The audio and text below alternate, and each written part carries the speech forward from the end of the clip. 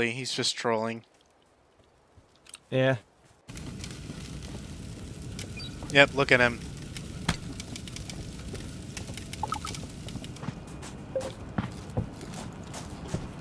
Yeah, just fucking, just fucking exit.